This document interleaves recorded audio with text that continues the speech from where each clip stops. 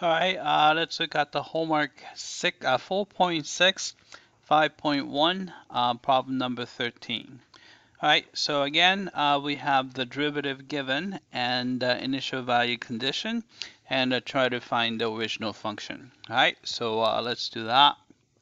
All right, so again, uh, we want to find the original function f of x.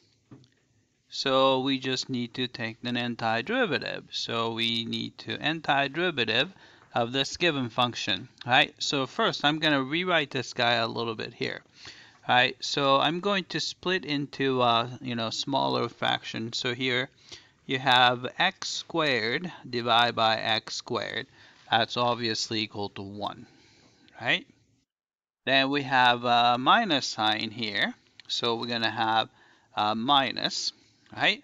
Then we have a 9 here divided by x squared. So we're going to have a 9, just a number here, right? So divide by x squared. So since x squared is on the bottom, so we can write it as a x to the negative 2 power. Right? So that's that. So let's find antiderivative here. Right?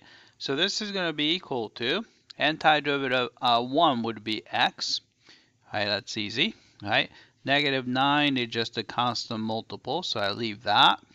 And add 1 to the power, so it's a negative 2 plus 1 is negative 1.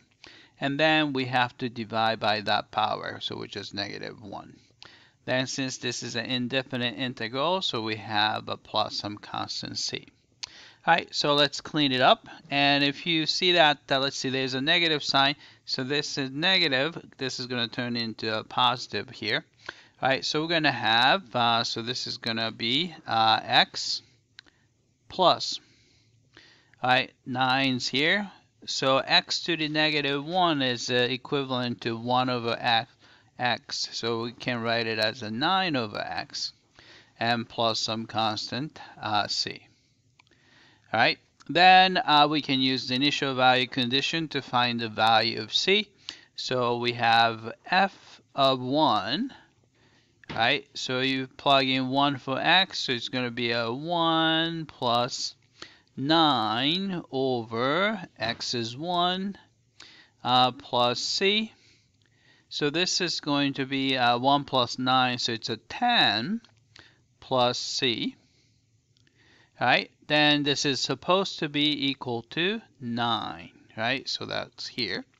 So if you want to find the value of c, we can simply subtract 10. So you have a c by itself, 9 minus 10 is negative 1. Right, so therefore, we have the uh, complete formula for f of x is equal to uh, x plus 9 over x and the c came out to be negative 1. All right, so let's type it in. Alright, so we got uh, x plus 9 over x, oh, x minus 1. Alright, let's check the answer. Alright, I came back and uh, looks like we got this one correctly. Alright, that's it. I hope that uh, this was clear.